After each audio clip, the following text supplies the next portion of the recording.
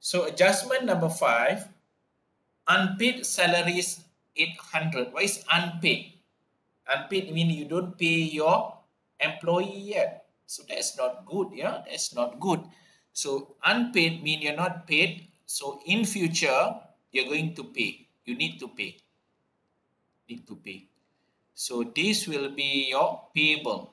Payable. Payable is your liability. Liability. So since you have not record this item, your salary will also increase. Your salaries expand will also increase by 800.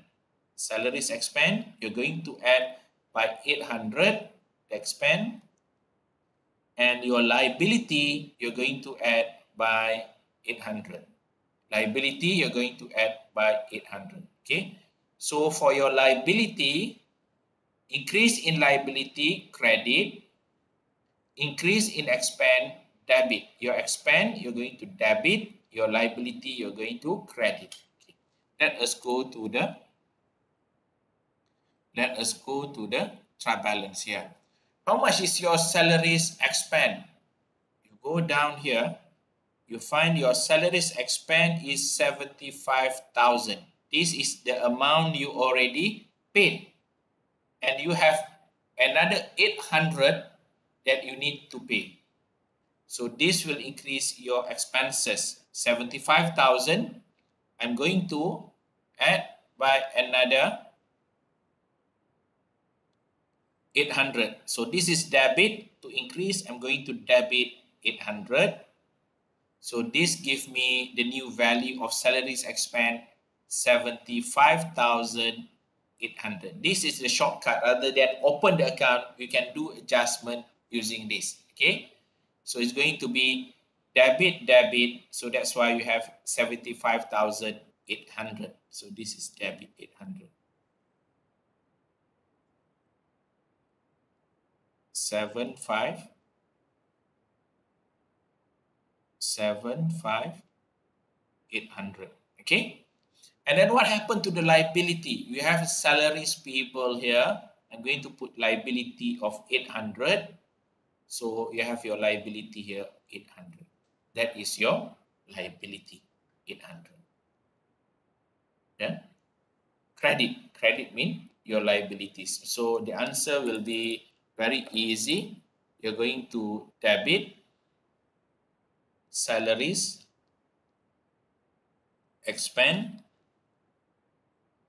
debit 800 and you're going to record salaries payable payable is your liability. Anything with payable is liability credit by 800 you can have a very specific account salaries payable electricity payable wages payable. Payable mean liability.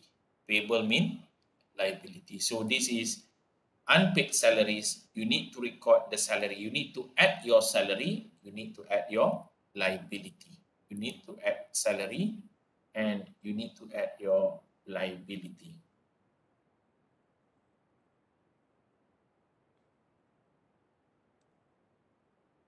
Let us go to number six. Interest expense not yet paid 3000 you have you borrowed money from the bank you need to pay interest, but you have not yet paid the interest amount amounted to $3,000. So this is your expend. Your expend increase. Need to increase your expend by 3,000. Not yet paid mean your liability. So your liability will also increase. Your liability increase. So you're going to credit your liability your expenses also increase. So you're going to debit your expense. I repeat again, you have interest expense, but you don't yet pay, pay the, the, the, the, the to the bank. The amount is 3000 So your interest expense, you need to increase your expense. Your expense increase mean debit. So this is your expense. Increase in expense. Increase in expense. This one is increase in your liability. Increase in your liability. Credit. So the answer will be debit interest expense debit by 3000 and your interest payable you can put here interest payable credit by another 3000 so this is the adjustment. And you're going to you'll be tested on this during your midterm during your so in your account later on you will have this interest expense where is your interest expense 3000 you already have 3000 so i'm going to put another 3000 so the new balance will be 6000 6000 the new balance will be 6000 and interest payable this is 3000 i'm going to credit the interest payable 3000 so my balance of interest payable is 3000 okay? Check your trial balance. You already paid 3000 interest expense. So you're going to add another interest expense 3000 so your total interest expense for that year is 6000 yeah 6000 this is your your expense. Whereas your payable before this is zero you credit 3000 so the balance here is 3000 the balance here is 3 3000 the balance in your adjusted trial balance.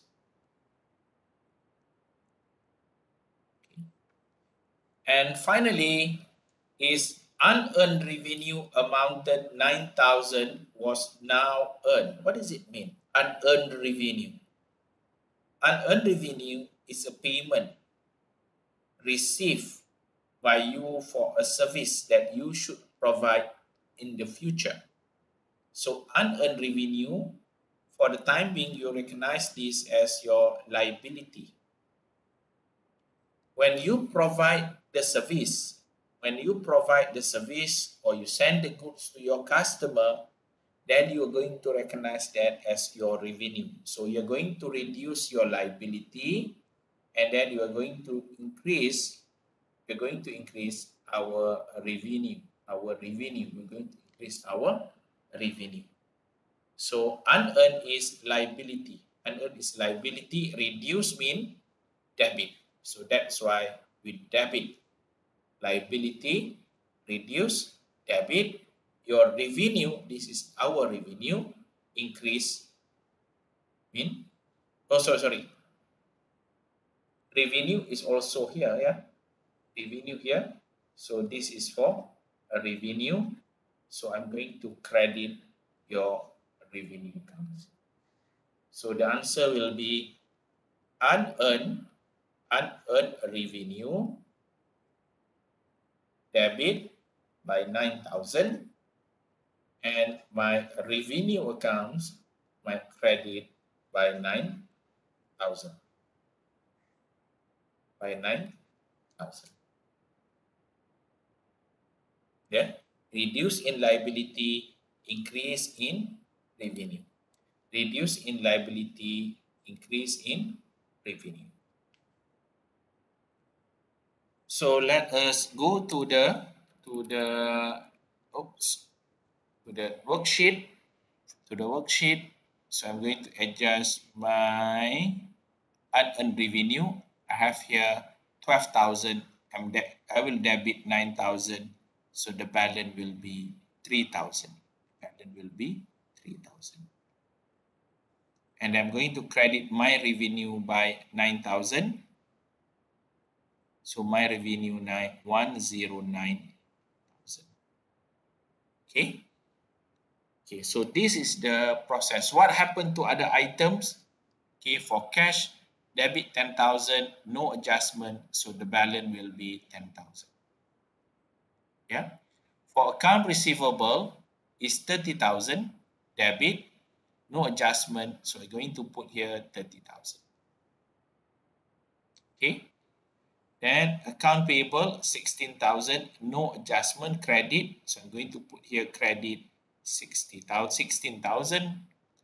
For loan payable, no adjustment 50,000 is going to be 50,000.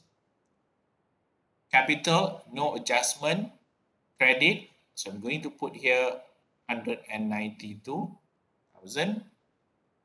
Drawing, debit, no adjustment. So I'm going to put here drawing 3,000. For electricity expense 14,000, no adjustment. Going to put here 14,000. For rent expand, yes, 34,000. So I'm going to put here 34,000. Yeah? Uh, sir, could you for unearned revenue, for unearned revenue, before this we have 12,000. This is our liability, 12,000. Then we debit, reduce the unearned revenue, we debit 9,000. Okay. Credit and debit mean minus. Credit 12,000 minus debit 9,000. So that gives you a credit balance of 3,000. Yeah. For your revenue before this, you already have 100,000 revenue credit. And then you credit another 9,000. Another 9,000. So this gives you a revenue of 109,000. Yeah. 109,000 thousand. So this is the process to prepare adjusted uh, Professor? balance. Yes. Elect uh, electricity expense is 14,000 in adjusted trial balance. Electricity expense, oh sorry, it should be 14,000. Thank you. So this is the process. I did prepare a lot of exercises on Moodle where you're going to do this adjustment. Yeah, we're going to do this. Okay, so let me repeat again. How does this system work? Okay, originally you will be given unadjusted trial balance. This is just an example of that. I can simply change the number, the items, and then you will be given some adjustment here. In this example, you are given 10 adjustments. So from this adjustment, you need to do it slowly. Take it one by one. Adjust, for example, from supplies, prepaid insurance, furniture, building depreciation, yeah, unpaid salaries, interest expense, and revenue. So you take it slowly, one by one. Okay, always remember there's one item debit, another item will be credit one item debit, another item will be credit. And then you put all the adjustment in this section, in this section. And then finally, you're going to calculate your adjusted trial balance. How to determine adjusted trial balance? If your original balance is debit, and then your adjustment is debit, mean you're going to add. If your original balance is debit, but the adjustment is credit, mean you're going to minus.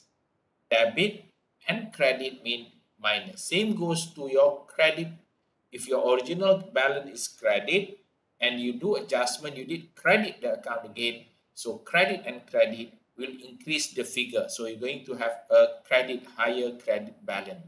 If you have a credit and debit, it means subtract. You need to minus the amount from the original balance. And then for the item, without any adjustment, you just copy back the item. For example, in the cash, for cash, the debit balance is 10,000.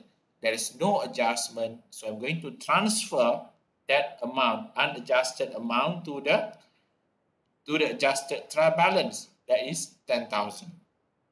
For account receivable, 30,000 I did transfer the 30,000 to adjusted trial balance. So this is the process, the easiest way because you already close your account, you already close your ledger. You don't want to open back your ledger and then do this this this process. So to avoid doing that, so we come up with this worksheet. So it help you to save a lot of time. Otherwise, you have to do your to prepare your ledger account, your T accounts, and then do your trial balance again. So your total debit should be equal with your total credit. So this will be the first part, the first part, the first part for you.